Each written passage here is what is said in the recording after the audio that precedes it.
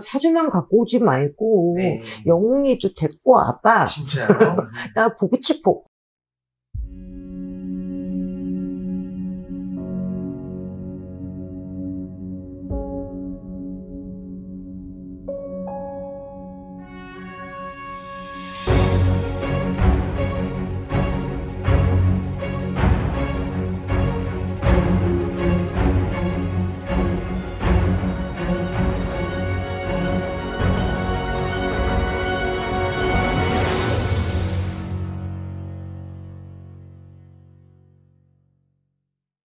선생님 안녕하세요. 안녕하세요. 예, 반갑습니다.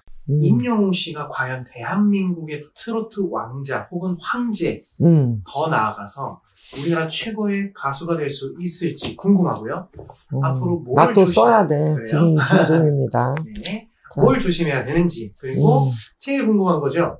연애운과 결혼운도 한번 물어보고 싶은데 제가 음력 사주를 가지고 왔어요. 그렇지. 구글에서 검색한 생일을 양력을 음력으로 변환을 했습니다. 네. 91년생 양띠고요. 음. 입니다. 자, 우리 영웅이는 어, 이 이름을 본명이 맞나? 네, 본명으로 알고 있습니다. 어, 근데 이 이름은 누가 지어준 이름이고 음, 이 사주에 걸맞는 이름이다. 음, 일단 이름을 봤을 때 네. 내 사주보다 이름이 무거울 수가 있는데 얘는 그거를 참 잘 이름을 지어줬다. 음, 그러니까 이 이름은 뜻이 있는 이름으로 이제 이름을 잘 지어준 결과물이 나왔고 네. 일단 결혼은 이 아이는 30세를 넘어야 돼. 음, 그러니까 내가 추천할 때는 34, 36, 요때가 결혼 운이 가장 좋을 때고 네. 그 다음이 어, 시린 세월을 극복한 친구야. 음, 잡초 같은 성향이 있어. 이 말은 어, 귀공자처럼 성장하는 애들이 있고 억새풀 같이 잡초처럼 해서 멋지게 단단해지는. 어, 네. 이 아이가 그런 사주다. 그래서 물론 무명의 시절도 있었고 고난의 시절을 잘 극복을 했을 거고 네. 사주만 보면 부모의 덕이나 형제의 덕은 없어. 음, 얘는 진짜 자수성가야, 자수성가. 자수성가를 해서 자기가 꿈을 이루는 거고, 얘는 한 스물다섯, 여섯, 스물다섯이나 스물여섯, 이맘때쯤이니까 귀인을 만났을, 만, 2년자가 들어오는 인연이 되는 거고, 음, 그렇기 때문에 요때부터 운이 열리기 시작하고, 이제 노래에 대한 갈망, 이런 게 이제 꿈이 다져지는 시기가, 어, 스물여덟, 스물아홉, 지금이 빛을 보는 게 서른이지. 음, 그 다음이 이 친구는 외모는 사실상 훈남은 아니야. 아니잖아. 아니, 나 또 몰매 맞는 거 아니야? 아니에요. 네. 우리 영웅이가 꽃미남은 아니에요. 그렇죠. 어, 외모는. 그리고, 어, 이 분이 눈빛과 목소리에서 운명을 바꿨다. 음, 눈빛은 눈이 크고 뭐 이런 게 아니어도 그 사람 눈에서 젖어 있고 선함이 나온대. 음, 어, 선한 기운과 젖어 있다는 것은 어, 사연. 우리 아들 같고 어, 내가 어, 도와주고 싶고 네. 왠지 짠하고 이런 웃고 있지만 네. 내 가슴에선 눈물이 흘러. 네네네. 그 시린 세월이 있었다 이 말이야. 어, 그러한 부분들이 있어서 말없이 눈에서 그 기운이 아, 어, 이렇게 아, 아지랭이 마냥 이렇게 피어 오르니까 아줌마 부대, 예. 엄마 부대의 모성애를 자극할 수밖에 없어. 그리고 어, 얘 목소리는 하늘이 준 거야. 이 목소리가 서른의 목소리가 아니잖아. 네네네네. 50의 목소리를 가졌고 내 가슴 속의 꿈과 간절함과 염원이나 이런 게 묻어 나오는데 쥐어 짜면서 나오지가 않잖아 얘는. 네.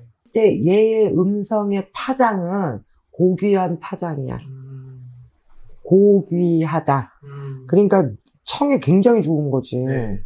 나처럼 이렇게 그냥 우리가 것처럼 허스키하지가 않잖아. 음성 자체에서 얘는 기운이 굉장히 좋고 네. 여기에 천복이 있다. 그 이것이 음성학에서는 얘는 굉장히 뛰어나기 때문에 외모 위주가 아니라 어, 오디오 가수처럼 네네. 목소리 실력으로 인정을 받는 거지. 그냥 이렇게 꽃미남 막 이런 거보다. 근데 예. 얘는 나이를 먹을수록에 더 점잖아질 것이고 네. 조심할 건 여자 조심이 나와. 여자요.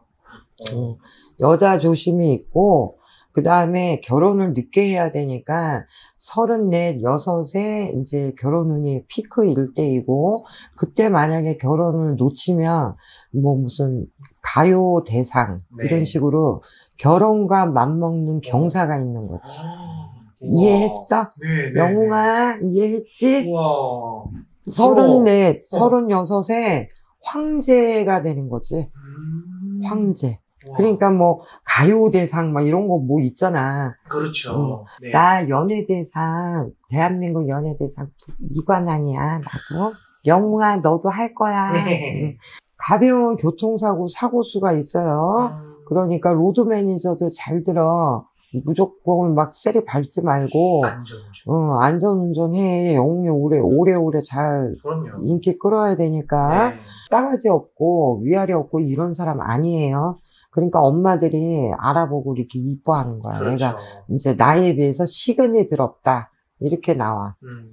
그래서 선하고 괜찮고, 그 다음에 이제 새롭게 계속 신곡이 나오는 거는 내년, 내후년에 또 이 친구가 어, 자기만의 노래, 네. 자기 걸로다가 또 쫙 뜨는 게 보여요.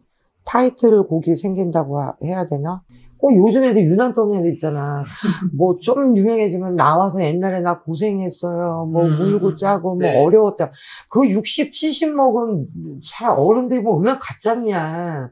근데 말 없이 얘는 있는 그 모습이 나는 좋다 이거야. 눈빛과 목소리에서 느껴지는. 아, 그냥 느껴지지만, 굳이 나 아파, 나, 나 이랬어. 뭐, 인제 서른이 뭐, 아프다고 나와서 떠들겠어. 그렇죠. 근데 말하지 않아도 묻어나는 기운을 다스릴 줄 아니까, 음. 얘는 눈물에 젖은 빵을 먹어본 애야.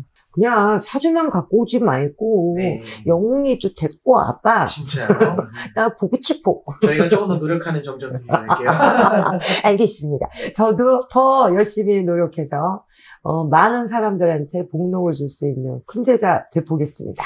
시청해주셔서 감사합니다.